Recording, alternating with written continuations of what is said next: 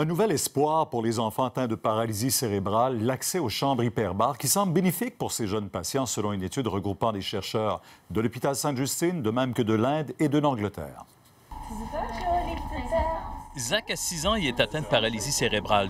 Depuis l'âge de 3 ans, il a complété 120 séances en chambre hyperbare dans cette clinique privée de Pincourt, en Montérégie. Arcangelo, 3 ans, a lui aussi subi plusieurs traitements. J'ai vu euh, des améliorations dans les euh, physiques et aussi euh, intellectuellement, il parle beaucoup mieux. Il y a eu des améliorations au niveau de la dextérité fine, je dirais, la, motricité fine. Le gouvernement refuse de rembourser les traitements d'oxygénothérapie hyperbare pour la paralysie cérébrale. Des centaines de parents doivent se tourner vers le privé. Le centre hyperbare de Lille a été fondé par cette mère de famille exaspérée dont les jumeaux âgés aujourd'hui de 20 ans ont tous les deux la paralysie cérébrale. Au début, elle a dû se rendre en Angleterre pour les faire traiter. On augmente la pression et on fait respirer un certain pourcentage d'oxygène, parfois très euh, élevé, parfois moins.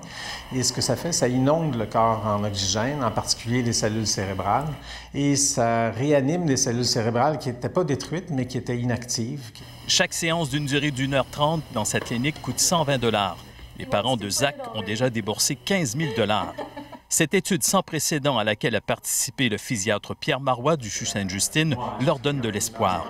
Une centaine d'enfants indiens atteints de paralysie cérébrale ont été traités pendant dix ans en chambre hyperbare. Ceux qui ont été traités en hyperbare ont évolué de façon trois fois plus marquée encore, trois fois plus vite. Euh, il y a eu des changements fonctionnels majeurs, puis des changements qui semblent permanents chez eux. Avec cette étude, les parents d'enfants atteints de paralysie cérébrale espèrent maintenant que le gouvernement va leur venir en aide. Mon but, c'est que finalement, le gouvernement ils vont l'accepter comme traitement et les parents, les enfants, ils peuvent avoir les traitements dans les hôpitaux. Le docteur Marois est aussi convaincu que c'est essentiel pour bien traiter les 4000 enfants du Québec atteints de paralysie cérébrale. On parle de quelques millions de dollars tout au plus, mais euh, quand on regarde ce que ça va sauver plus tard, on va sauver euh, dix fois ce qu'on aura investi. Harold Gagné, TVA Nouvelle, Pincourt.